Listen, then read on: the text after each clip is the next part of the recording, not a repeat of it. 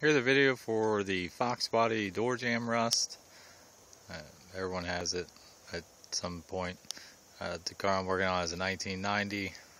It's the purple one. Uh, everything was rusted away on it. I ended up getting a parts car to get everything that I need to fix it with. For the most part, you can see, oh, that's pretty much gone. Yeah, all this is rusted out. Every layer. It was too hard to try and cut it out, cut each piece out because there's three layers, and then you got the frame. So I chose to take the parts car one out. See, it gives me all this. What I had was rusted away. That's supposed to be the whole corner of it. I didn't really have any of that.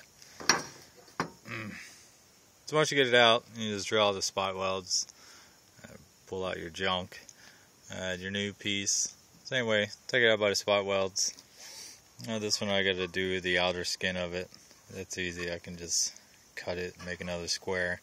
Uh, do the inner piece once I have this top one out. Cut it, make the little squares, weld it together, and be done with it. It's not that bad. That's the easy part. This one's a little bit more rusted. Uh, this, it, obviously the outside piece is already cut off of it. Uh, it doesn't look too bad, but once you cut this top piece out, see there's there's nothing there anymore. So it should look like this one and have all the top of it there. But when you compare the two, you can see that most of it is gone. So I'll cut it along the top, weld in a new piece. You need to have some kind of bracing before you can start cutting anything out. I mean, once you cut the post, I learned this from the Galaxie. Uh, obviously, not good. We're not going to talk about that one, but do the post. Don't get the cheap thin steel. Uh, just get the box rail. it needs to be thick because it's going to support it and you need to keep it from moving in any direction. So I have it welded to the floor, outer rocker, inner rocker panel, however you want to look at it. I have it welded there. It's welded at the top. I have a safety rag here because I've already hit my head on it. Uh, I need the pieces to do the other side so I don't want to cut them up. And then I have another one welded so it can't go up and it can't go down this one keeps it from going forwards and backwards. And the other one is welded to the transmission cross member. Uh, not the sheet metal of the floor, but the actual cross member. It's thicker and it'll keep it from moving. And then it's just welded there. I didn't make the welds perfect. This is just temporary. But once you have that in, then you can start taking out the pieces that you need. Uh, once you get the new one, or the old one, fix the old one, however you're going to do it. Do the inside first. Uh, get all your measurements. I have my measurements for my door mounts and I marked them onto the post so I can make sure that the outside pieces right at where it needs to be versus too far forward, too far back. Uh, it can't go up and down. It's not optional. So that was my measurements on that. Uh, you need to come up with some reference points depending on where you cut the inside piece. I'm trying to leave as much of this original stuff there as possible. So I'm going to stay up high and then I'll just do this L part of it. You got different sections.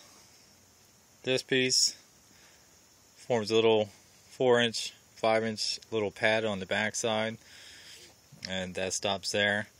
You have the skin that comes down here which will go underneath it you have the bottom of your cowl panel, which forms your cowl. So depending on how far you need to go, you'll just have to cut each section and then build it off of what you have. Uh, some of these curves, it curves down.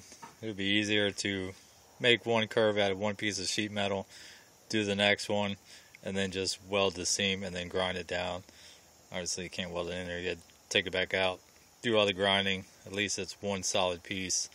Uh, I'm probably going to end up cutting the cowl high. That way I can get as far in as I can be able to cut all the old stuff out and re-weld in the new stuff. So once you have the inside, the outside, then you can do the top of it and build it from there. I have a new piece, or new old piece, and I'll trace it because this still has some rust right there, and then I'll fix that. Then I'll just fill in all the spot welds. But at least it gives you an idea of if you're wanting to get into fixing it, what you're looking at. It's not that hard. I mean, a little time consuming. I think the hardest part is just drilling out all the spot welds because it's spot weld every inch, an inch and a half. But that's what you're working with.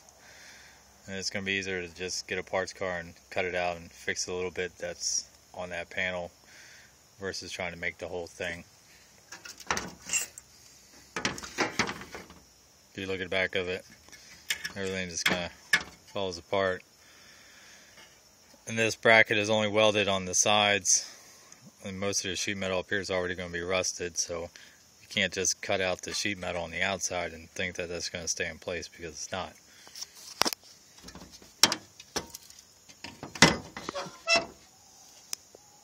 My other piece, once I have it welded in the car, I'll start taking it and I'll get down into this piece and I'll fix that and then just work my way up from it. But you have your top part of it that you can start building your sheet metal to do your angles and be able to rebuild the top of it. So this at least gives you an idea for someone who's interested in doing it, what you're looking at once you get into it. And I'll do a second video once I get it pretty much all together and ready to put that top section on there. And I'll show how I did that. That's it.